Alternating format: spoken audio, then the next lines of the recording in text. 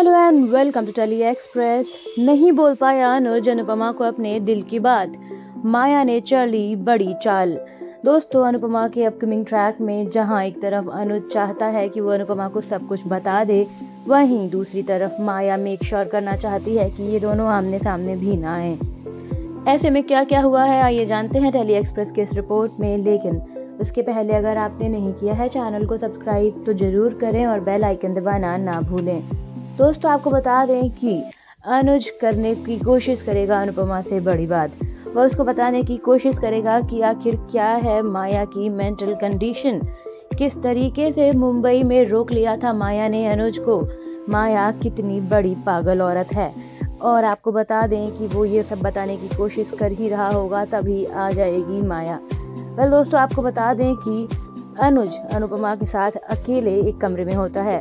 उसने बहुत मुश्किल से मैनेज किया होता है अनुपमा के साथ उस कमरे में होना। लेकिन उसका असली इंटेंशन ये होता है कि वो अनुपमा को बता पाए कि आखिर क्यों है वो माया के साथ। माया को आते हैं पैनिक अटैक्स माया पागल है।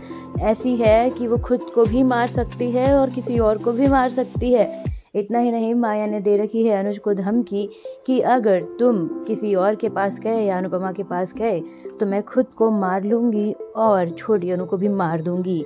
जी हाँ दोस्तों, यही बात है जिस वजह से मुंबई से वापस अहमदाबाद नहीं आया था अनुज, क्योंकि माया ने कहा था कि वो छोटी अनु को जान से मार देगी। लेकिन अब अनुज ये बात अनुपमा को बताना चाहता है और वो चाहता है कि अनुपमा उसका साथ दे ताकि वो माया से अपना पीछा छुड़ा सके। इसमें अनुपमा का बहुत बड़ा रोल होगा। अनुपमा उसकी हेल्प कर सकती है। यही बात वो उसको बताना चाहता है। वापिस से छोटी अनु, अनुपमा और अनुज एक साथ अपना परिवार बसा सकें। इसके लिए दोनों को एक साथ आने की ज़रूरत है। लेकिन आपको बता दें कि माया भाप लेगी कि अनुज कहीं ना कहीं उसके आसपास नहीं है।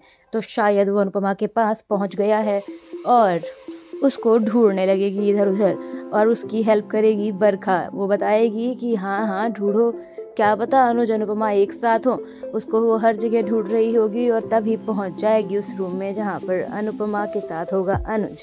पहुँचने के साथ ही माया करने लगेगी एक्टिंग जैसे उसकी तबीयत खराब हो गई हो। वो कहेगी, अनुज, आप तो भूल ही गए हैं, आपने मेरी दवाई तक नहीं दी मुझे। और वहाँ से अनुज को लेकर चली जाएगी दोस्तों। अनुपम, अनुज नहीं बोल पाएगा अनुपमा से अपने दिल की बात। ऐसे में कैसे होगा मान का मिलना पॉसिबल आप अपने व्यूज़ कमेंट सेक्शन में ज़रूर रखें। वीडियो को लाइक एंड शेयर करना ना भूलें।